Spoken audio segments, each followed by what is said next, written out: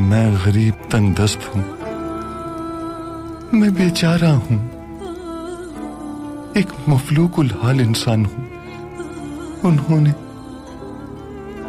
तुम्हें, तुम्हारी वालिदा, खानदान मेरा मेरा माल और दौलत, मेरा वकार, पाशा का औदा, मकाम मर्तबा तक छीन लिया। यानी सबातीन मेरा जमीर अगर बात कर सकता तो सिर्फ़ शर्मिंदगी का इजहार करता। बेटा तुमसे, इस वक्त सिर्फ़ एक ही चीज़ है जो माँगता हूँ मैं।